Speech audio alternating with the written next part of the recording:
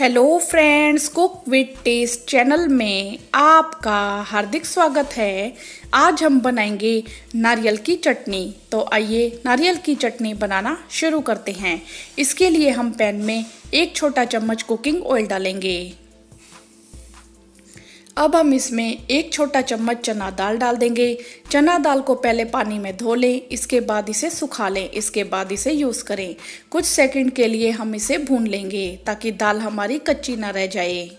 अब हम इसमें एक बड़ा चम्मच मूंगफली डाल देंगे। मूंगफली डालने से नारियल चटनी में टेस्ट कई गुना बढ़ जाता है।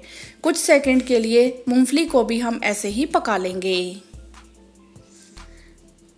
अब हम इसमें आधा छोटा चम्मच जीरा डाल देंगे, एक साबुत लाल मिर्च डाल देंगे और थोड़ा सा अदरक और हरी मिर्च डाल देंगे। अगर आप तीखा कम पसंद करते हैं तो हरी मिर्च और लाल मिर्च में से एक चीज़ को स्किप भी कर सकते हैं। मिक्स करेंगे और कुछ सेकंड के लिए इसे पकाएँगे। अब हम इसमें अपना कटा हुआ नारियल डाल देंगे। ये मैंने एक फ्रेश नारियल का यूज़ किया है। कुछ सेकंड के लिए इसे भी भूनेंगे। इस तरह भून कर बनाने से चटनी बहुत ही टेस्टी बनती है।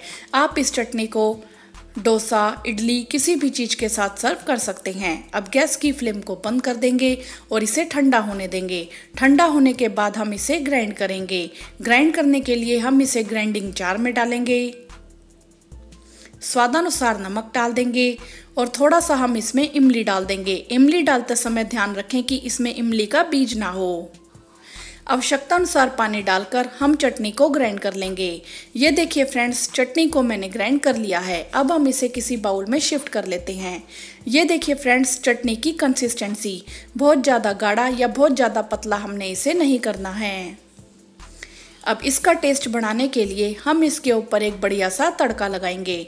तड़का लगाने से चटनी का टेस्ट कई गुना बढ़ जाता है। तड़का लगाने के लिए हम पैन में एक चम्मच कुकिंग ऑयल डालेंगे। अब हम इसमें आधा छोटा चम्मच उड़द दाल डाल देंगे और दाल को रोस्ट होने देंगे। अब हम इसमें आधा छोटा चम्मच सरसों और एक साबुत लाल मिर्च डाल देंगे। जब सरसों हमारी अच्छे से चटक जाए, तब हम इसमें कड़ी पत्ते डाल देंगे। अब गैस की फ्लेम को बंद कर देंगे और इस बढ़िया से तड़के को हम अपनी चटनी के ऊपर डालेंगे।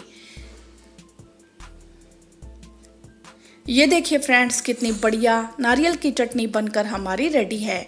आप इसे इडली, डोसा, किसी भी चीज़ के साथ सर्व कर सकते हैं।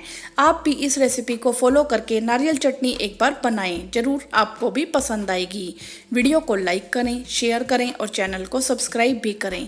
Thanks for watching. Good bye.